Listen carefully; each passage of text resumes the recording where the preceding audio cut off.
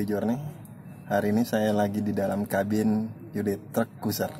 Jadi ini adalah light truck terbaru dari Yude Trucks uh, kategori 2 6 roda dan ada beberapa keunggulan dari truk ini. Beberapa hal di antaranya adalah kabinnya yang katanya uh, terluas di kelasnya. Jadi lebarnya ini 2,1 meter, di mana kompetitornya itu rata-rata hanya 1,8 mesinnya 4000 cc dan hari ini saya akan tes drive seperti apa ulasannya.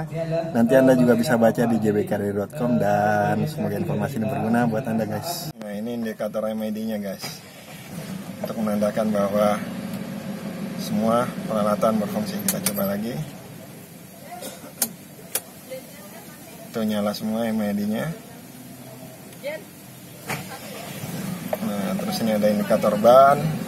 Lengkaplah informasinya di sini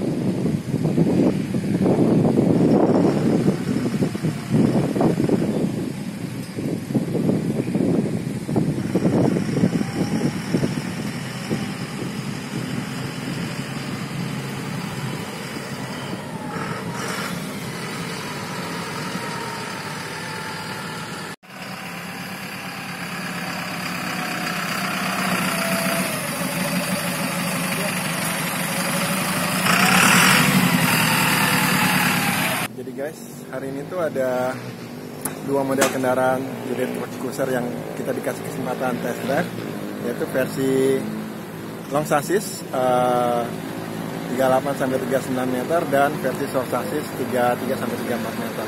Yang di belakang saya ini versi short chassis guys. Jadi tadi saya sempat test drive yang versi long chassis yang 38 sampai 39. Sayang kamera jatuh waktu di dalam, cuman impresi atau pengalaman yang saya rasakan itu adalah uh, seperti statement dari pihak UD Truck Astra UD Trucks Indonesia sebagai dealershipnya yaitu radius putarnya yang pendek. Dan mobil ini isi drive ada 6 transmisi percepatan manual dan untuk gigi mundur juga ada apa kayak fitur assist gitu bunyi bip bip bahwa itu udah menunjukkan pada uh, apa posisi gigi mundur uh, itu yang saya bisa rasakan dan saya bisa ceritakan dalam kesan pertama mengendarai mobil ini. Truk ini tepatnya. Great Truck Cruiser versi Sasis di belakang saya. Nah kesan lainnya adalah fitur MID-nya guys. Jadi fitur MID-nya itu disebut yang paling lengkap di kelasnya.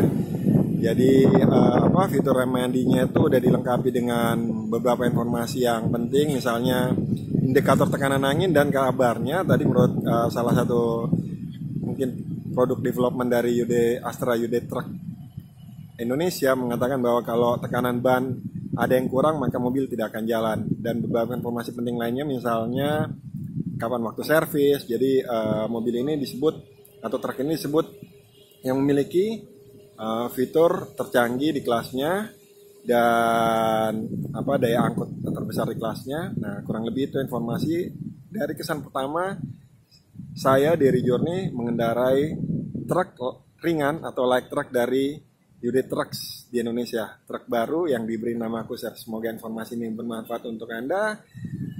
Uh, jangan lupa subscribe, like, dan komen. Tinggalkan komentar di bawah ini jika Anda ingin memberikan masukan. Terima kasih telah nonton guys. Sampai jumpa di vlog dari